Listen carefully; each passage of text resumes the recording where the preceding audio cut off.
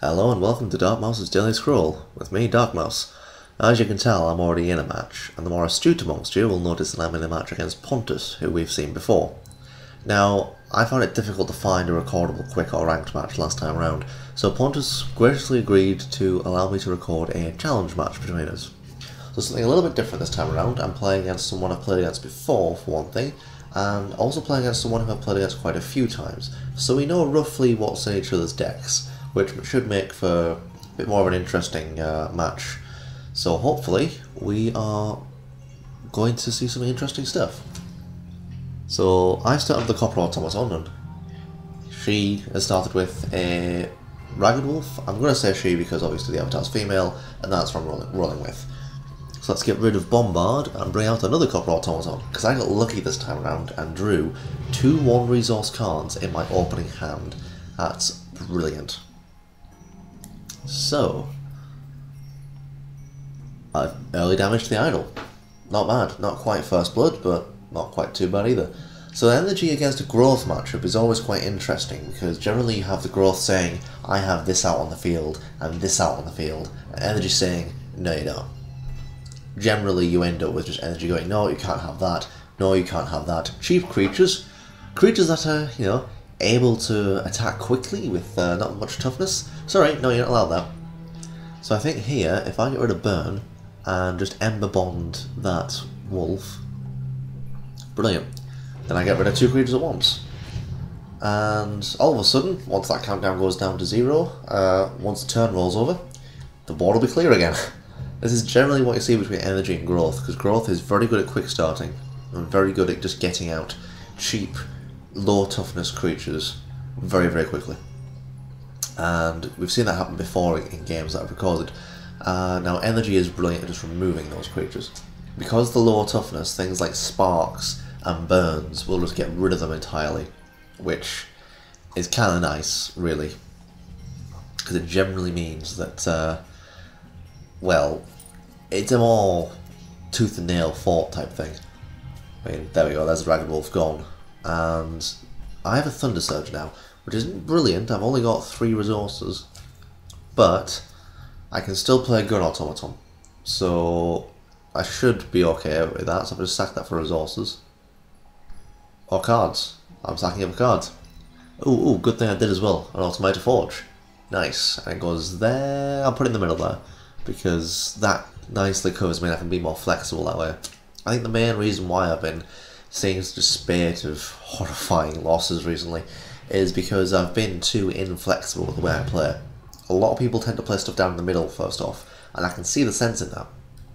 Because then you can respond to either side of your idols. So if one side comes into fire from your opponent, you can just respond quite quickly to the other side. So now he's got to see what uh, Pontus is going to do. Now Pontus does have a few more additions to uh, a deck since the last time I, I played against him. Uh, mainly the addition of Quake, which is ridiculously powerful. It's brilliant for just getting rid of or damaging everything on the board. I think it does 3 damage to structures and 2 damage to creatures. Generally, by the time you get to play it, you'll hopefully have already set up like a, a chain reaction type thing, where your creatures are too tough to die, but your opponents are just on that brink. And if they don't die from at the very least, your creatures have countdown zero and just swoop in and kill them all. That's generally a cascade that's quite nice there. Okay, so reinforcing the central line with the Gravehawk there. Not too bad. So get rid of the Cannon Automaton because I don't have any use for it right now. Let's move the Gun Automaton back and play down Prox Charges. And where am I defending? That makes my, my decision for me. I'm defending up top. Because generally, what I find is easier if you can just ignore two of your idols entirely. Just ignore them. Don't pay attention to them. That's the way I tend to roll, and it sometimes works. It used to work quite a lot, and now either people are getting wise to it, or people are just getting a lot better than me, a lot quicker. I'm. It's, it's either way. Either theory is really good because I'm not brilliant at this, and I'll find out I'm not bad, but again, not brilliant. So there's an ether pump down. Ether pumps are really nasty against growth decks because if they survive long enough, then uh, you can just start chewing away at the units all of at once. and it's brilliant against decks that just have a ton of structures that have only one resource in them. So now I'm starting to roll a little bit, I'm turtling up a tiny little bit, but not enough to do any major damage at this point in time. I've only got two creatures down, the rest are all structures. So if I get a Metal Heart, then I'm going to be doing 6 damage to an idol at once, or to a creature at once.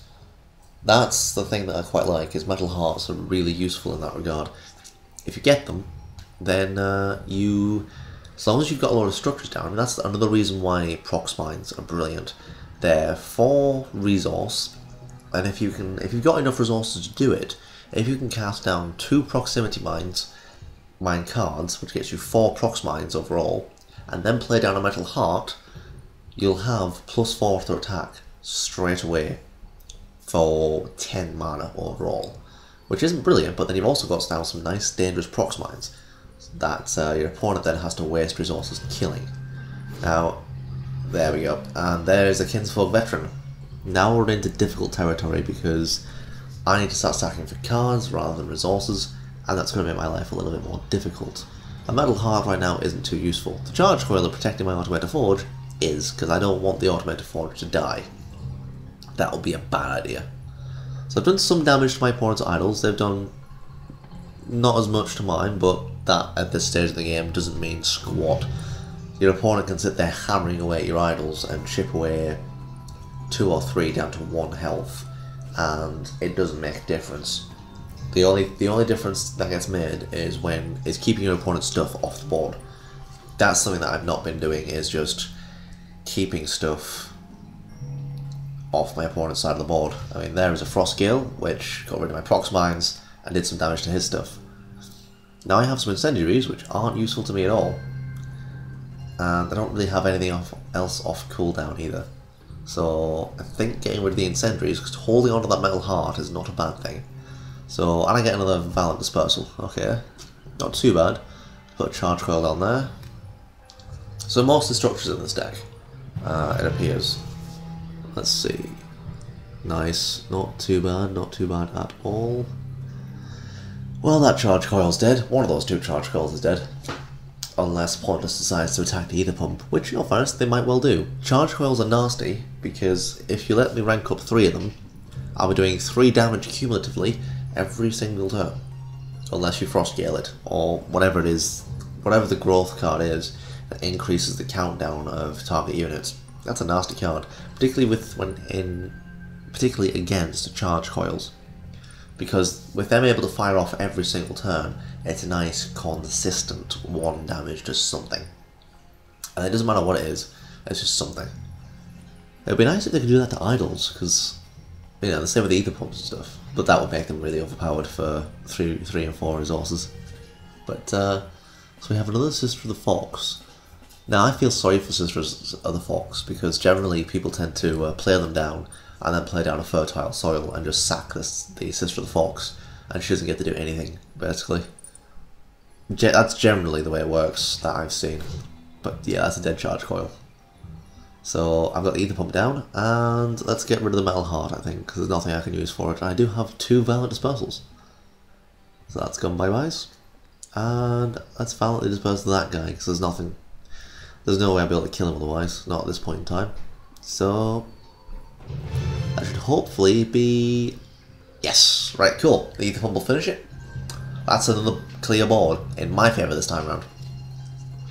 Again, against growth it doesn't mean squat, because if, if they've got enough creatures in the deck, they can just throw them out time and time again. I think the only... One of the most expensive growth creatures I've seen has been the Great Wolves and the Kinfolk Veterans because they cost 5 resources each, and they are particularly nasty. Great Wolves get plus 1 attack for every wolf on the board, and they're relentless. Sorry, for every wolf on the board, and they're relentless. Um, ooh, I have a clock library now. I don't need to worry about him for two more goals, but I might as well get rid of him quickly.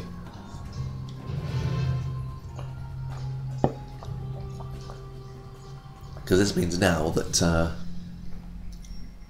again, clear board if I can just keep uh, Pontus from getting the creatures on the board and keeping them on the board, all will be good. Of course, it also means that I have to be able to draw stuff, which is going to be a particular nightmare when it comes down to it. Alright, I've got a Clock Library in my hand and a Spark as well. I can use that Spark to get rid of the Sister of the Wolf. Is it not? Yeah, Sister of the Fox, not Sister of the Wolf. Sorry, that's a Brother of the Wolf there. And down goes the Clock Library. Which is nice. In four turns, I'll have, I think, is it three or four cards? I think it's three. But because it'll be my turn as well, it'll be uh, four, because I've got one for drawing. Which nicely refills my hand. I think I've used that before, actually, to be able to get up to 10 cards in my hand, which is brilliant, really, because it means that you've got a lot of flexibility to play with. And then you can just start sacking for resources left, right, and centre if you really want to. Now, I'm in a bit of a stronger position here, but that doesn't really mean anything if my if Pontus has a ton of cheap creatures in the hand. Hopefully, most of the cheap creatures have been cycled into the graveyard by now which means that my heavy duty removal won't be needed till later, and I can get some of my heavy hitters out, which would be nice. Now that's interesting. Dryadic power boosts their attack and stuff, but means they can't move. It reduces the move value by one, which is interesting. Generally, creatures only have a move value of one, which makes me wonder: is Mojang working on a card which has a move value higher than one? Because if it does, then it's quite possible that we'll see cards that benefit hugely from Dryadic powers. Just to see what they do. Now, because that'll be quite cool, is just seeing a, a card that says it's got a move of two or three and just hopping it across the board to wherever the hell you need it. It'll probably be relatively weak, but that's why the Dryadic Power would come into its own. You just play it down and it can't hop as far, but when it hits, it hits hard.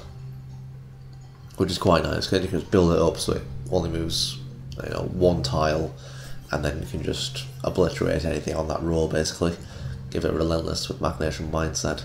It would be a growth card, because it would well, it wouldn't have to be, but it would I think it would suit it better. I can't imagine an energy creature loping across the board.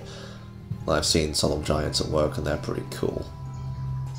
So, let's see. I've got a cannon automaton, and that's a stag heart. That cannon automaton is dead. Just a little bit. Because it armor 1 and attack of 5 and only health 4. Which means one very dead cannon automaton. But I'm managing to keep Pontus on her toes. Which, provided I can get out a glut of creatures, will work nicely in my favour. So I've got a concentrated fire, which won't be enough to take out the idol. So I'm going to get rid of it for more cards. Ah, sweet. So Thunder Surge is useless, and Ether Pump, however, is not. So let's play that down. Yeah, let's put it there. Because then if he attacks, it'll just kill the front one. And the back one's on its uh, better cooldown.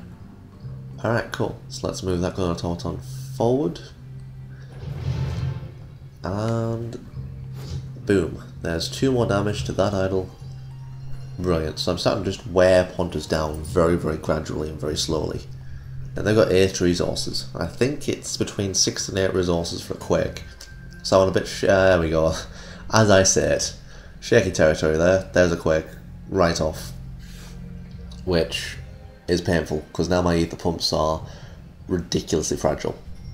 Uh, and I drew a Spark that'll get rid of that nicely, like quite nicely. Let's move that Gun Automaton forward, there we are, and just start taking down that uh, middle idol. That's one dead Brother of the Wolf. Let's get rid of that, and I can play down more stuff. Nice. And that, ah yes, that uh, clock library only has one turn left, and then I get more cards, which is kinda nice. Let's see what uh, Pontus' response to this is.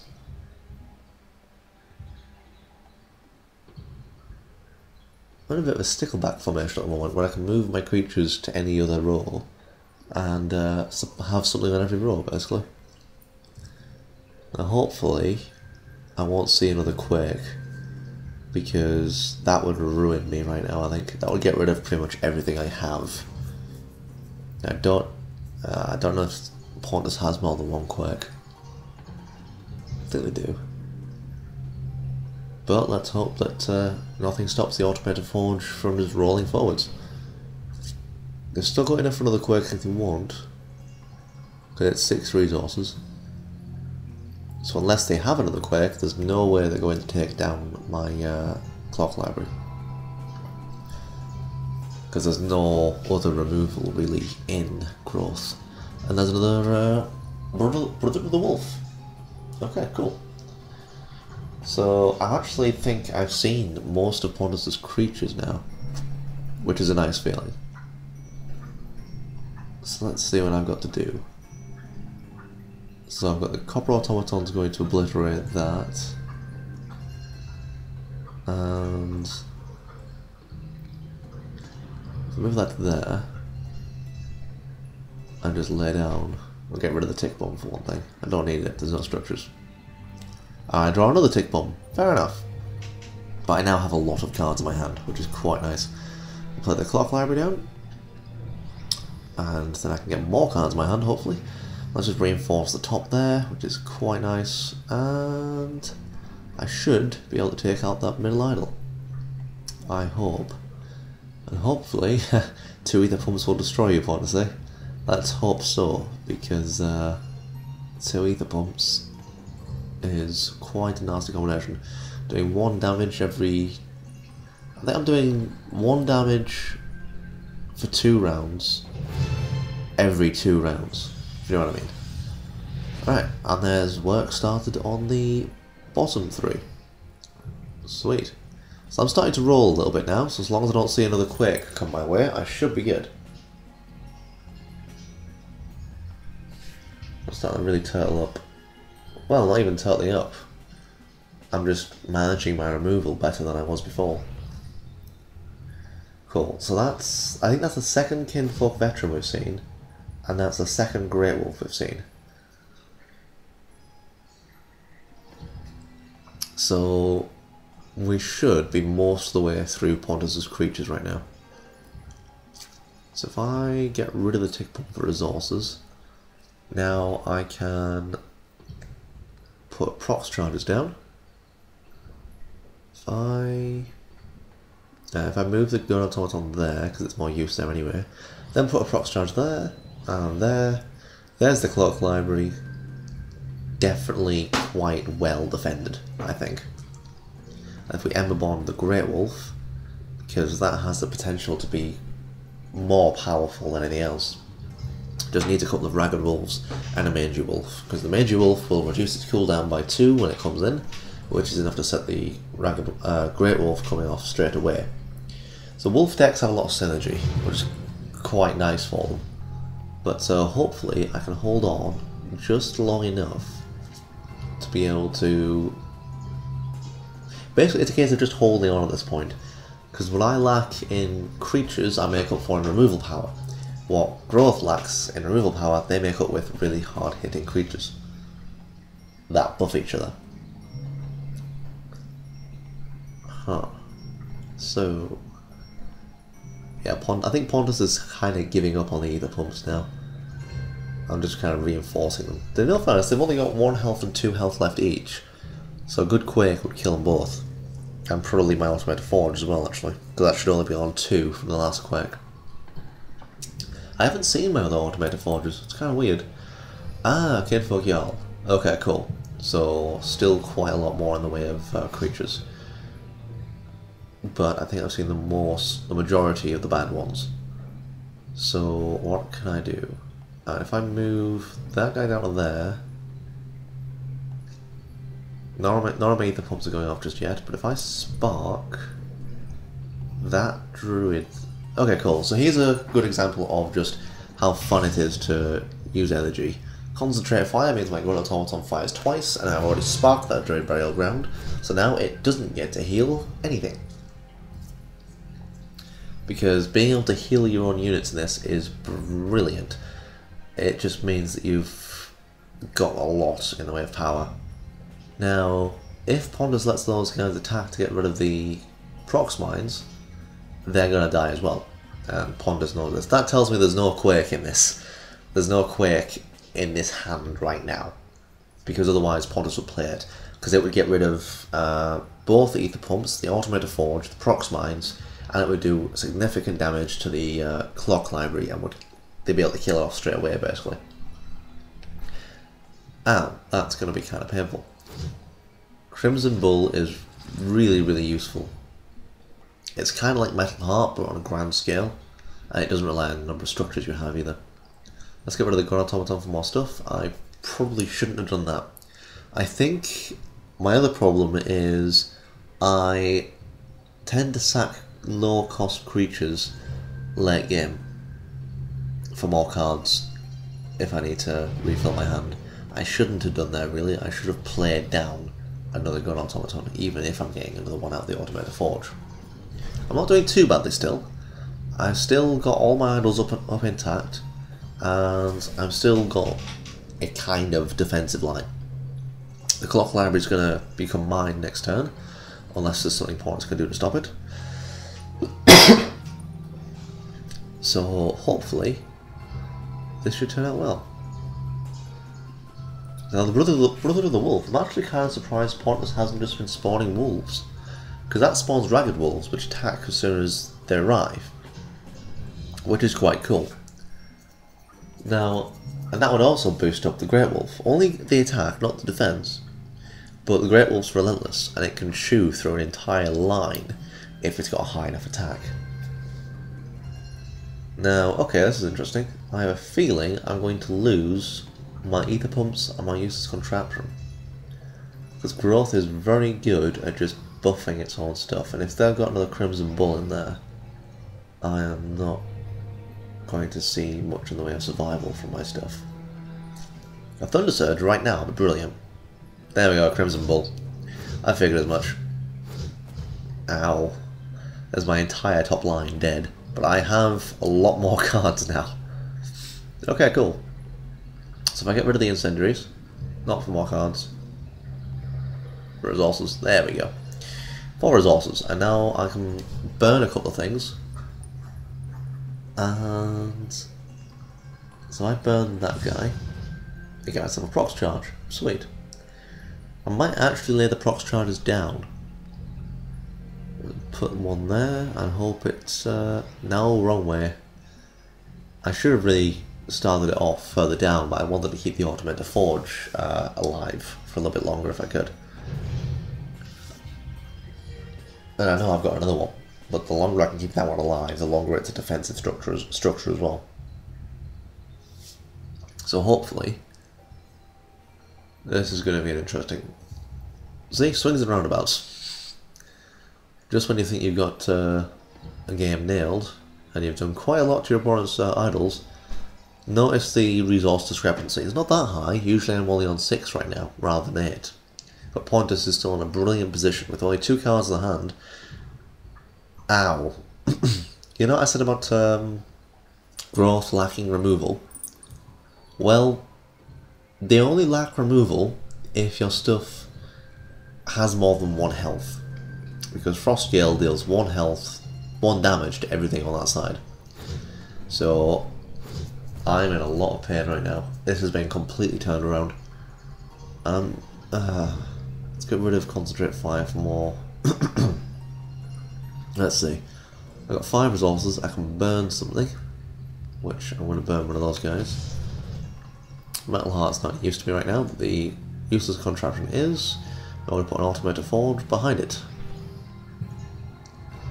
Now it's kind of it's it's gone from juggernauting and having a lot of uh, my gun automatons out, and my automated forge rolling just rolling the automatons out, and the ether pumps you know doing one damage to everything around, really really nicely. It's kind of now just become uh, Pontus uh, rolls over that DarkMouse. That's not that's not too bad actually for a late game uh, set, set of cards. There's a dead totem idol, not totem idol. That's a very dead, very dead idol. So now it's a case of I need to defend the top two. Actually, I need. Uh, no, I could just about do it if I just defend the bottom three like I have them. No, fairness, I kind of need. Uh, A Thunder Surge here would be nice. Wouldn't do horrendous amounts of damage, but it would be nice. Because it would just, well, strike everything down for a little while. So what do I have that I can play that won't get annihilated as soon as it arrives? Uh... Jeez. Alright, let's play down an Automated Forge there. And I need the pump in front of it. That should be just enough to keep them both alive for long enough, hopefully. This is going to be very interesting, because now Pontus is in a position where she can play anything she likes. Absolutely anything. So, what are we going to see next? Uh, just to let you guys know, I will not. There will not be a scroll out on Sunday. I'm kind. Of, I'm going to take that day off a little bit. I'll just get a few things done. I need to get some cleaning around the house done and pretty much everything else. Ow! So they died pretty quickly. Uh, that was a bad idea. But now I can play it on an ether pump and the cannon automaton, and I'm probably kind of bummed right now. So, ow! Why did I do that? Why? I don't think I saw the countdown of one on those two guys with five attack each. Cause yeah, yeah. There's me. There's me realizing and going, oh shit, damn. So that I'm afraid is kind of me dead. But uh, yeah, so there'll be no scroll on Sunday, I'm afraid. Um, but we'll be scrolling again on Monday as usual that is GG. So that was the first challenge match that I've recorded and shown you guys. I hope you enjoyed it. So that should get me enough gold to be able to um, get my new my next scroll. So let's see what it is. Leave match.